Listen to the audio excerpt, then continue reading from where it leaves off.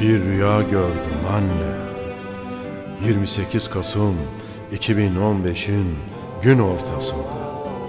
Karışmıştı birbirine Diyarbakır'ın, Cizire Botan'ın sokakları, bağları, bahçeleri.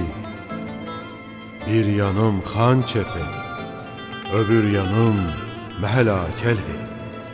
Bir yanım Kırklar Dağı, Diğer yanım Çiyaye Cudi Bir tarafım Rezemira Bir tarafım Hevsel bahçeleri.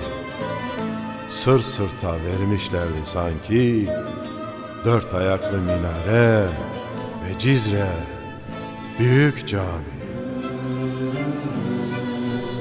Düet yapıyorlardı Ozanlarımız, denkbeşlerimiz Mukabele ediyorlardı.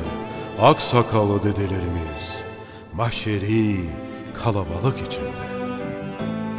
Meme Botan zinini arıyordu anne. Haykırıyordu aşkı, barışı, kardeşliği. Yankılanıyordu türküler, sıtranlar, Türkçe, Kürtçe, Hevsel ve Mir bahçelerinde.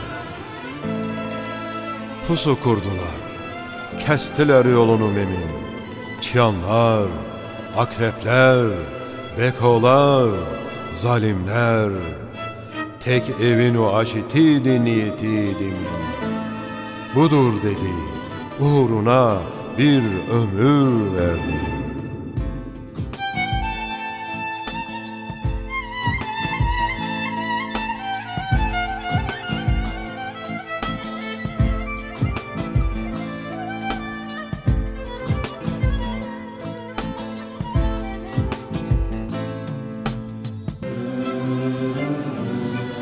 Sarmıştı etrafını. Astoriler, keftarlar. Saldırdılar haince arkasından Memin Vurdular zehirli kurşunla paslı mavzerin. Sendeledi, düşmedi, dik durdu agidim. Bakındı etrafa güçlükle bir müddet. Gözü gözüne geldi soysuz katilin Tanımıştı bakışından o kallej zalimin Kocaman yarasından da mavzerini kafirin. Öylece uzandı önüne minare çarlıngan. O hafifçe kaldırdı başını ve ki cami meram. Minarede eğdi dosta başını cicer gudilan aldılar karşılıklı son hatıru selam. Boşaldı gözyaşları, oldu selu revan.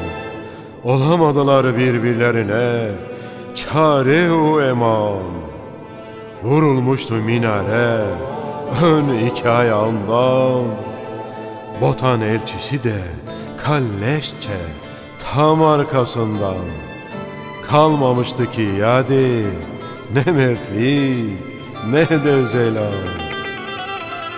Götürdük meme botanı Cem Hakim o Lokman.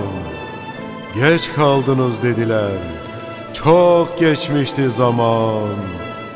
Kırıldı dizleri Yemal Bato dostan Başladı hava ruşin Feryadu figan Gözyaşlarını sildim, arenim bilmedi beni.